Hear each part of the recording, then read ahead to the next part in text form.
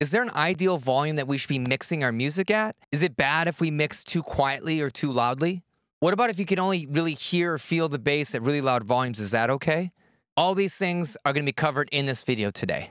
Hey, what's going on YouTube? It's Bobby Balo, the mixing and mastering engineer at Raytown Productions, and this channel is dedicated to helping you make better sounding music without needing to spend a ton of money on expensive gear or unnecessary plugins. If you're new here, thank you so much for joining me today. Be sure to hit that subscribe button because I drop new videos every single week that's to help you level up the quality of your music. Since we're talking about home studios today and setting the right volume for our speakers, I thought I'd give you a special gift.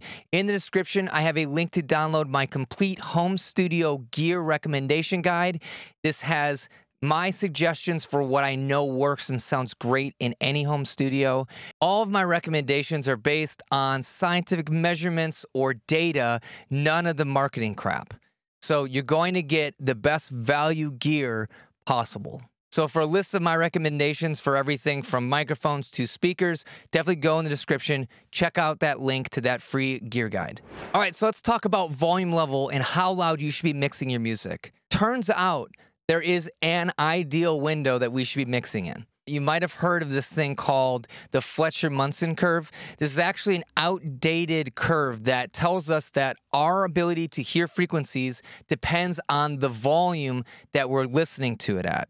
And as the volume is increasing, our frequency response of our ears changes. And it turns out there's a sweet spot.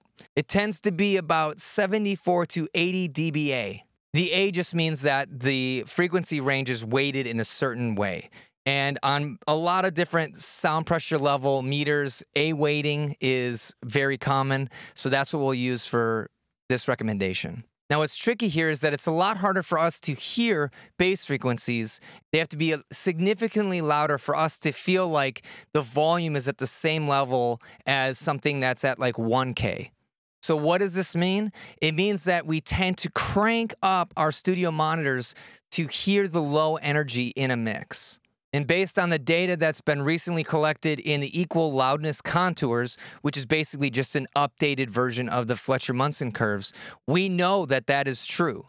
That the louder we crank the music, the more even the frequencies tend to sound to us.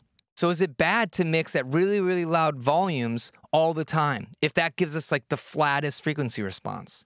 And the answer is yeah. You can actually damage your hearing if you're mixing too loud for long periods of time.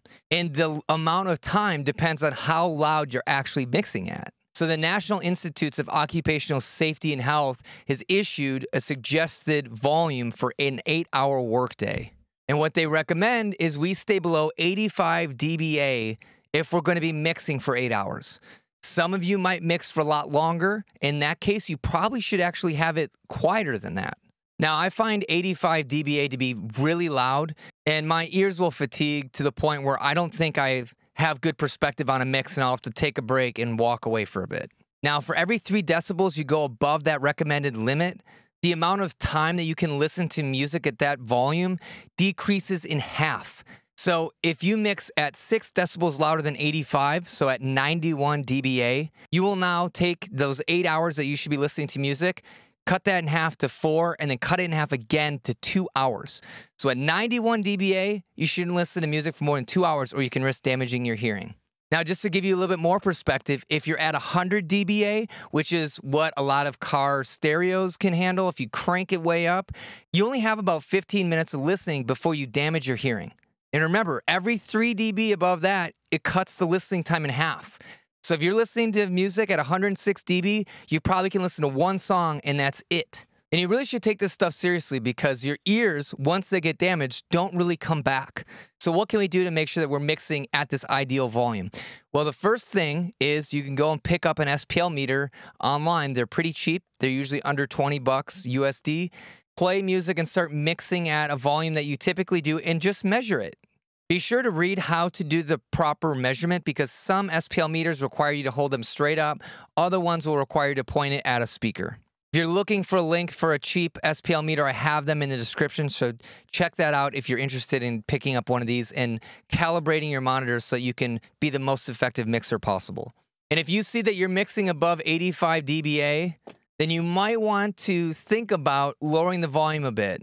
And you're probably saying, well, if I lower the volume, then the frequency response will change and my mixes will probably sound worse. That is certainly true, but you can always turn up the volume and really crank it up nice and loud for maybe 15 seconds, 30 seconds to get even better perspective of how your song sounds at these loud volumes. Okay, that's when the bass will really come in and you'll know if you've overdone the bass or not. Okay, so there's nothing wrong with mixing at about 75 dBA and then cranking up to 100, maybe 105 to get it to like a concert volume so you really can identify what's wrong with the low end. And then just turn it back down, make the adjustments, and then maybe later turn it back up. It's a great strategy. I use this all the time, and it will really give you the best of both worlds where you have the flattest frequency response just to check your mix, and then you can mix for really long periods of time at these lower volume levels. So, with that, let me know in the comments below how loud you mix music at. Do you use this strategy where you turn it up really loud and then back down and then mix quietly? Or do you just crank it to 11 and just mix through all the pain? I'm super curious to see what other people are doing, and I love to have these discussions with you. And if you're curious about hearing loss and what the recommended guidance is from the National Institute of Occupational Safety and Health, I have a link to their PDF recommendations in the description as well. And while you're in there checking it out, don't forget about my free home studio gear guide because that's going to really help you make some good decisions on the next major gear purchase that you want for your home studio. I hope this video was inspirational to some of you that might be mixing at dangerously loud volumes to just dial the volume back a little bit. And then you can use some of these strategies to get the best of both worlds. Because once your hearing is gone, it's not coming back, and you do not want to mix on a bunch of hearing aids. That sucks. So, with that, I want to thank you again for your time and attention today, and I hope to see you in another video.